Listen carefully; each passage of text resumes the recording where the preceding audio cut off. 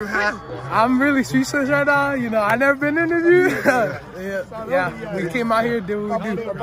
You guys were thought that you guys might get shoved around in the line, that they would run Yeah. up the interior on you guys. Yeah, they, they they had a good old line, but we we did our job. We went out there. We just did what we did. You're steaming. That's Yeah. quite the shot right there. Uh, seriously, what's going? Can you sum up? I know you say you're speechless, but I mean, no one counted on you guys, even as a league champion, to win this thing. You know, and and you do it, and then you guys have four sacks and three interceptions. You have two of the sacks. Yeah, You know, I mean, what got into you guys? just you know, CCS. You know, we just had a. o'clock and eight o'clock.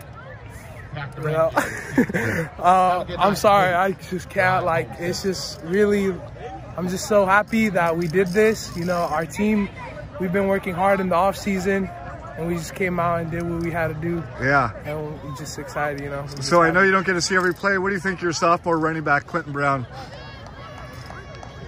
sophomore Quentin Brown, he's good. He's barely a sophomore. He's got two more years. You know, Yeah, he ran He's for gonna be great. He's 186 yards, I think. Yeah, 182 yards today. he's gonna do good. Two TDs. What uh, What do you think carried you guys through today? Was it the defense or your ability to to score three TDs? It was just everyone, everyone, Yeah. everyone did their job. We got it. And, and how about you guys? The fact that you guys are going to the NorCal playoffs. What does that mean to you? It's just You got one more week with Bubba Yeah, we got one more week.